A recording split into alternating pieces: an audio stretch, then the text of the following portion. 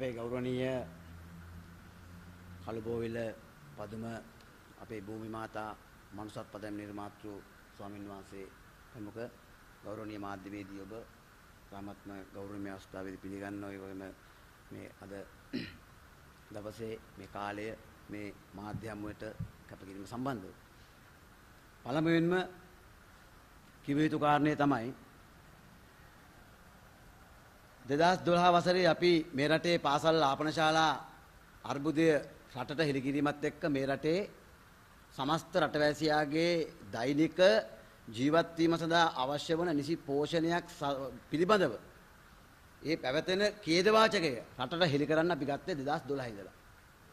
ඒකේ පාසල් ආපන ශාලා තුළ තිබෙන පැණිබීම සම්බන්ධව අපි දැබැන්ත මතයක් අරන් ගියා උපවාස කරා උද්ඝෝෂණ කරා ගුටි කෑවා ප්‍රදර්ශන තිබ්බා මා සාකච්ඡා සියලු දේවල් කළා. ඒ සියලු දේවල් මාධ්‍ය පුස්තකයේ තියෙනවා.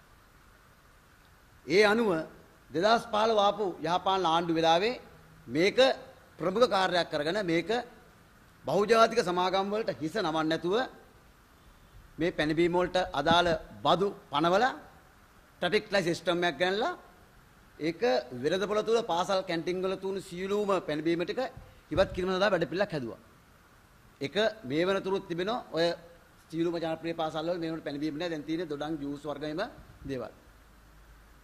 මේ මාධ්‍යම තියන්න ප්‍රධාන හේතුව උනේ එයට අදාළ ප්‍රධාන හේතුවක් වන ඒ පැණිබීම වලට දාන ලද බදු කෝටාබේ රාජපක්ෂ ජනාධිපතිවරයා වෙනින් ජනතාවට ලබා දෙන සහනමල්ල භාණ්ඩ 15000ක සහනමල්ල ඇතුළට ඇතුළත් කරේ කවුද පැණිබීම සඳහා බදු සහන ඉල්ලුවේ? දැන් භාණ්ඩ 15000ක් දෙනවා කියලා දැන් මාධ්‍ය ආවරණය කරානේ. දැන් මගේ Facebook සටහනත් එක මා ඒක දැන් මා තාම නෑ එළියට ආවේ. දැන් ඒකේ මුලින් දාපේකේ තියෙන පැණිබීම ඇතුළේ සියලු දේවල් කියලා. ඒක මේ කරන්න බෑ දැන්. මාධ්‍ය දන්නවා. මාධ්‍ය දව් තියෙනවා. එතකොට කවුද පැණිබීම වලට ජනාධිපතිවරයාගෙන් බදු සහන ඉල්ලුවේ? කවුද මේ රටේ පාරිභෝගික ඉල්ලුවද පාසල් දරුවෝ ඉල්ලුවද සරසවි දරුවෝ ඉල්ලුවද රාජ්‍ය සේවකයෝ ඉල්ලුවද පෞද්ගල සේවකයෝ ඉල්ලුවද? මේ රටේ සංඝයා වහන්සේලා ඉල්ලුවද? පැණිබීම වල විල අඩු කරන්න කියලා කවුද ඉල්ලුවේ? එහෙමනම් කවුද ඒ භාණ්ඩ 15000ට පැණිබීම ඇතුළත් කරේ? සමාගම් බෑලේ ගුවන් නම් අපි මේ අඩු කරන්න කියලා. ඒක සමාගම් කියන විදිහට කරන්නේ නෙමෙයිනේ. මේ රටේ සෞඛ්‍ය පිළිබඳව මේ ගන්න තීරණ තීරණ ගන්න ඒ කමිටු තීරණේ ආහාර පාන වල ඒගොල්ලෝ ඒක හිතා බලනවාගෙන මේක පිළිබඳව වැට බැඳලා නැති උනේ ඒ නිසා අපේ අතිකරු ජනාධිපතිවරයාගෙන් ඉතාමත්ම කාරණක ඉල්ලා සිටිනවා. ඔබතුමා ජනතාවට ලබා දුන්න සහන දුන්නේ සත්භාවයෙන්. ඒ සත්භාවය අහක ඉන්න කණ්ඩායමක් උපදේශකව කවුරු වෙන්න පුළුවන් සමාගම් වලින් කුට්ටියක් අරගෙන රාජිත සේනාරත්න සහ යාපාන ආණ්ඩුව බිලිබා ගන්න බැරි වුණු බහුජාතික සමාගම් ටික මේ ආණ්ඩුවේ කොටසක් බිලි අරගෙන තිනවා. ඒ නිසා අන්න බදු සහන ලබා දීම සඳහා භාණ්ඩ 15000 පැණිවීම තිනවා. වගකීමෙන් කියන්නේ නැත්නම් අපි හෙට මේ සංවිධාන විසුරනවා. රුපියල් 60ට තුනේ මිලිලීටර් 400 අන්න දැන් රුපියල් 70 වරතුන් දැන් රුපියල් 60යි. රුපියල් 10ක් අඩු වෙලා. මෙගා බෝතලෙන් රුපියල් 20ක් අඩු වෙලා. එතකොට අන්න මග දෙපස තියුණා ඔය කලර් සිස්ටම් ට්‍රැෆික් ලයිට් පැණිබිම තාම ගෙනාවත් එක්ක මග දෙපස අර දොඩම් කාබරංක නෙල්ලි තැඹිලි ඒ වගේ දේවල් මග දෙපස වැඩි වෙන්න ගත්තා. අර මැෂින් වලින් දොරන් ගෙඩිය විකලා දෙනවා රුපියල් 30යි 40යි 50යි ගම්බෙස්ටියක් එම දාලා. මොකද්ද වෙන්නේ? මේ පැණිබීම වලට බදු සහන දුන්නන් පස්සේ අර මග දෙපස සරුවත් විකුණන දොඩම් ගෙඩියක් විකුණන කාබරං ගෙඩියක් බෙරළු ටිකක් නෙල්ල ජූස් ටිකක් තම්බිලි ගෙඩියක් විකුණන අර සොයන් රගයා කරන මිනිස්සුන්ට මොකද වෙන්නේ කියන එක අපි ප්‍රශ්න කරනවා පාරිභෝගික අධිකාරිය සහ ඒට අනුමැතිය දුන් ඔය සියලු කණ්ඩායම් වලින්. පැණිබීම වලට නෙවෙයි බදුසාන දෙන්න ඕන. බදුසාන දෙන්න ඕන මේ රටේ මිනිස්සුන්ට එදා වේල දැන් කා ගන්න බැරි ඉන්නෝ. ඒක ප්‍රධාන සාධකය තමයි මේ වෙනකොට තුන පහ වර්ග තුන පහ වර්ග මම පෙන්වන්නම් මාධ්‍යයට එක දෙයක් මේ තියෙන ග්‍රෑම් 50 පැකට්ටයක් තුන පහ මේ මිරිස් කුඩු රුපියල් 42යි. ඒ කියන්නේ ග්‍රෑම් 100ක් රුපියල් 84යි කිලෝ එක රුපියල් 840යි. තව එකක් තියෙනවා ඒ මිරිස් කුඩු තව කම්පැනියා මේකත් ග්‍රෑම් 50 රුපියල් 40යි. ඒ කියන්නේ මේක කිලෝ එක රුපියල් 800යි.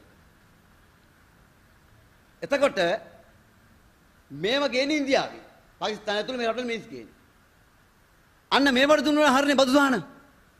දීලා මේ කෑලි මිනිස් ග්‍රෑම් 100 රුපියල් 50 කරන් කිලෝක රුපියල් 500ට දෙන්න පුළුවන් බස් වාහන දීලා. පැණිබීම් වලට වඩා මිනිස්සුන්ගේ දෛනික ආහාර වේලට gedara මුළුතැන්ගෙට වටිනවා. රුපියල් 55ට 50ට තුන සම්පෝස පැකට් එක. රුපියල් 80යි දැන්. රුපියල් 80යි. මේ තියෙන පෙයාස් පොඩි දරුවා ගන්න සබන් කෑල්ල. මේක මේක රුපියල් 70යි දැන්. කොහොමද මේ මිල ගණන් වැඩි වෙන්නේ?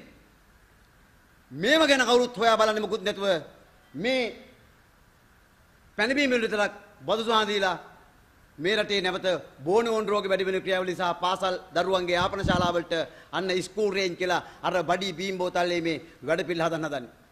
ඒ නිසා මේ ප්‍රායෝගික ගැටලු මෙන්න මේවා. දරුවගේ දාන්න පැකට් එක, දරුවගේ ඇඟේ ගන්න සබන් කෑල්ල, gedara කන, ලුණු පොල් කට්ටේ ඉඳලා සියලු දේවල් වල අත්‍යවශ්‍ය භාණ්ඩ වල ආනයන කරන සියලු දේවල් ඒවයි තීරබදොඩු කරලා ජනතාවට ඒ සාහනය දෙන්න ඕන. එහෙම නැතුව මේ වෙලාවේ මේ දවස්වල තියෙන අධික පෑබිල්ල හින්දාද බදු සාහන දෙන්න හදන්නේ පැණිබීම වලට. රුපියල් 60 70 රුපියල් තැඹිලි ගෙඩියට වටිනාකම නැති වෙනවා. ඒ නිසා මේක අපි කියන ජනාධිපතිතුමාට වහාම ඔබේ අවධානය යොමු කරන්න එහෙම නැතුනොත් අපි ඒ සඳහා අපි නිරන්තරයෙන් මහා මග ඕනෑම මොහොත හිත ගන්න වාඩි වෙන මිනිස්සු. ඒ නිසා අපිට ඒක කරන්න පුළුවන්. ඒ නිසා අපි කියන්නේ ඔබ නොදැනුවත්ව හෝ මෙතන වැඩ පිළිලක් සිදු වෙනවා. ඒ සඳහා ඔබතුමාගේ දැනුවත්භාවය සඳහා අපි මේ ගෞරවනීය මාධ්‍යමයේදී මේක තාමත්ම ගෞරවණීයව ප්‍රකාශ කරනවා. ඒකම ප්‍රධාන වශයෙන්ම කියන්න තියෙනවා මේ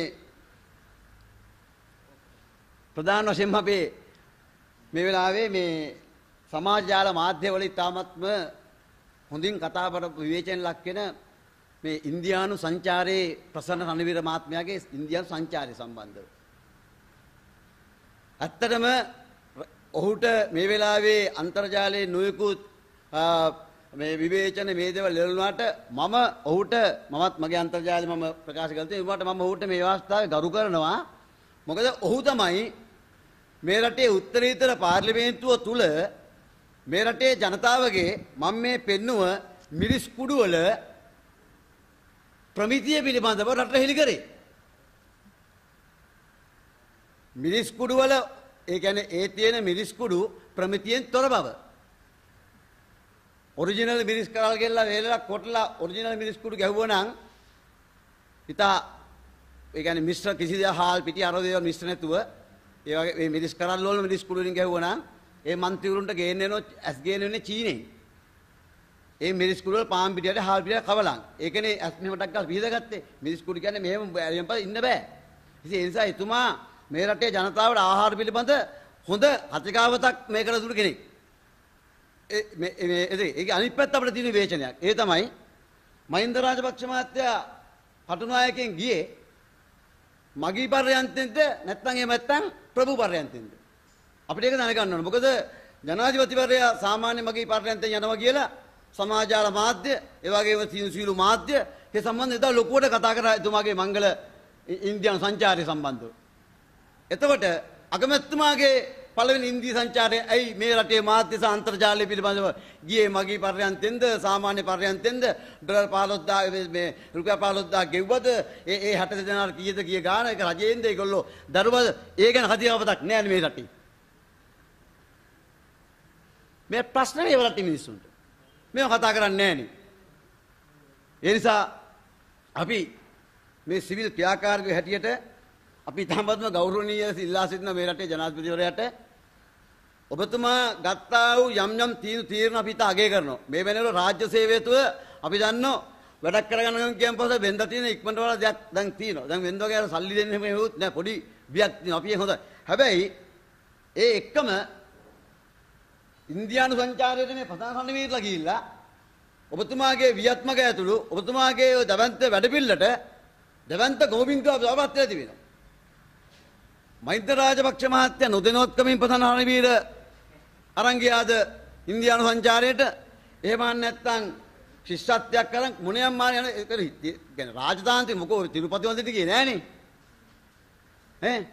ඒ නිසා අපි ආපනශාලාවෙන් සංගමේතා මහජනයි සුර්ගීමේ සංවිධානය පිල්ලා සිටිනෝ ඉන්දියානු සංචාරය නිම කරලා එනකොට ප්‍රසන්න රණවීර මන්ත්‍රීවරයාට මේ රටේ මිරිස් කුඩු කිලෝ එකක් රුපියල් 840යි ඔබතුමා ඉන්දියානු සංචාරයෙන් පුළුවන් නම් මේ මිරිස් කුඩු කිලෝ එකක් රුපියල් 500ක් ලක්වා ජනතාව ලබා දීම සඳහා බදුසහන අරගෙන එන්නට ගියාද කියන සැකය අපිට තියෙනවා.